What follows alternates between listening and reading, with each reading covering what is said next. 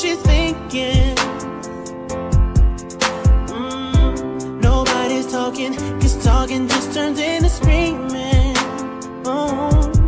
And now it's I'm yelling over her, she yelling over me. All that that means is neither of us is listening. And what's even worse is we don't even remember why we're fighting. So both of us are mad.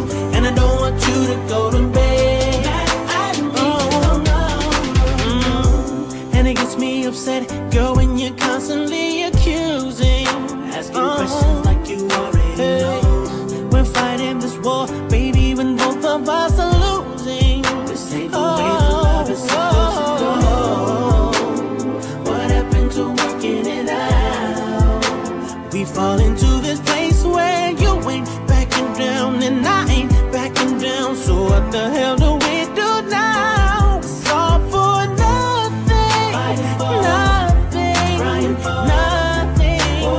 We won't let it go for nothing, nothing. There should be.